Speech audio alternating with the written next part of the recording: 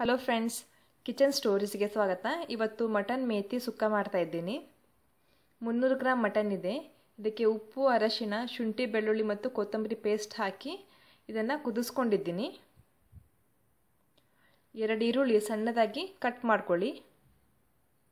ಎರಡು ಟೊಮ್ಯಾಟೊ, ಒಂದು ಕಪ್ ಮೆಂತ್ಯ ಸೊಪ್ಪು, ನಾಲ್ಕು ಹಸಿಮೆಣಸಿನ್ಕಾಯಿ ಶುಂಠಿ ಮತ್ತು ಬೆಳ್ಳುಳ್ಳಿ, ಒಂದು ಕಪ್ ಕೊತ್ತಂಬರಿ.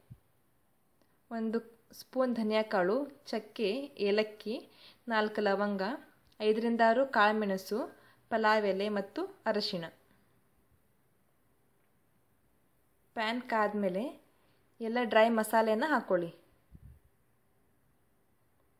ಮಸಾಲೆಯನ್ನು ಹಾಕ್ಕೊಳ್ಳಿ ಈಗ ಹಸಿ ಮೆಣಸಿನ್ಕಾಯನ್ನು ಹಾಕ್ತಾ ಇದ್ದೀನಿ. ಇದನ್ನು ಎರಡು ನಿಮಿಷದವರೆಗೆ ಡ್ರೈ ರೋಸ್ಟ್ ಮಾಡ್ಕೊಳ್ಳಿ. ಮಸಾಲೆಯನ್ನು ಹುರಿದು ಹಾಕಿದರೆ ಟೇಸ್ಟ್ ಚೆನ್ನಾಗಿ ಬರುತ್ತೆ. ಇಷ್ಟು ಕೆಂಪಗಾದರೆ ಸಾಕು. ಈಗ ಜಾರಿಗೆ ಶುಂಠಿ, ಬೆಳ್ಳುಳ್ಳಿ, ಕೊತ್ತಂಬರಿ, ಸೊಪ್ಪು ಮತ್ತು ಹುರಿದ ಮಸಾಲೆಯನ್ನು ಹಾಕ್ತಾ ಇದ್ದೀನಿ. ಈಗ ಸ್ವಲ್ಪ ನೀರು ಹಾಕ್ಕೊಂಡು ಇದನ್ನು ಪೇಸ್ಟಾಗಿ ರುಬ್ಕೊಳ್ಳಿ. ಈ ಥರ ಪೂರ್ತಿ ಪೇಸ್ಟಾಗಿ ಇದನ್ನು ರುಬ್ಕೊಳ್ಳಿ. ಈಗ ಎಣ್ಣೆ ಕಾದ್ಮೇಲೆ ಪಲಾವ್ ಎಲೆಯನ್ನು ಹಾಕ್ಕೊಂಡು ಇದನ್ನು ಸ್ವಲ್ಪ ಫ್ರೈ ಮಾಡ್ಕೊಳ್ಳಿ. ಇದು ಫ್ರೈ ಆದಮೇಲೆ ಸಣ್ಣದಾಗಿ ಕಟ್ ಮಾಡ್ಕೊಂಡಿರೋ ಈರುಳ್ಳಿಯನ್ನು ಹಾಕ್ಕೊಂಡು ಇದನ್ನು ಚೆನ್ನಾಗಿ ಬೇಯಿಸ್ಕೊಳ್ಳಿ. ಈರುಳ್ಳಿ ಪೂರ್ತಿ ಬೇಯಿಸ್ಕೊಳ್ಳಿ. ಗೋಲ್ಡನ್ ಬ್ರೌನ್ ಈ ಥರ ಕಲರ್ ಬಂದರೆ ಟೇಸ್ಟ್ ಚೆನ್ನಾಗಿ ಬರುತ್ತೆ. ಈಗ ಟೊಮೆಟೊನ ಹಾಕ್ಕೊಂಡು ಇದನ್ನು ಸಹ ಚೆನ್ನಾಗಿ ಬೇಯಿಸ್ಕೊಳ್ಳಿ. ಹಸಿ ವಾಸನೆ ಇರಬಾರ್ದು. ಪೂರ್ತಿ ಬೆಂದಬೇಕು. ಬೆಂದಿದ್ದಾದಮೇಲೆ ರುಬ್ಕೊಂಡಿರೋ ಮಸಾಲೆಯನ್ನು ಹಾಕ್ಕೊಂಡು ಸ್ವಲ್ಪ ಅರಶಿನ ಹಾಕ್ಕೊಂಡು ಇದನ್ನು ಎಣ್ಣೆಯಲ್ಲಿ ಹುರ್ಕೊಳ್ಳಿ.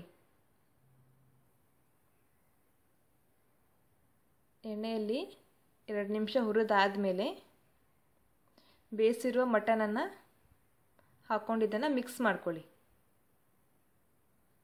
ಇದನ್ನು ಪೂರ್ತಿ ಮಿಕ್ಸ್ ಮಾಡ್ಕೊಳ್ಳಿ.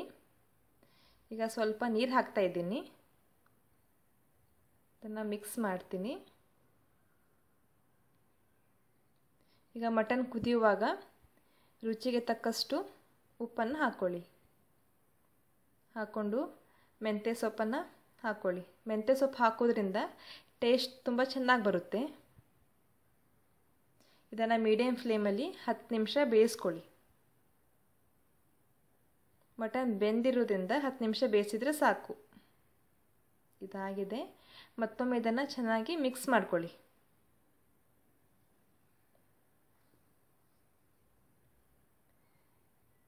ಬಿಸಿ ಬಿಸಿಯಾದ ಮಟನ್ ಮೇತಿ ಸುಕ್ಕ ರೆಡಿಯಾಗಿದೆ. ಈ ರೆಸಿಪಿ ನಿಮಗೆ ಇಷ್ಟ ಆದರೆ ಲೈಕ್ ಮಾಡಿ ಕಮೆಂಟ್ ಕೊಡಿ ಮತ್ತು ಸಬ್ಸ್ಕ್ರೈಬ್ ಆಗಿ. ಧನ್ಯವಾದ.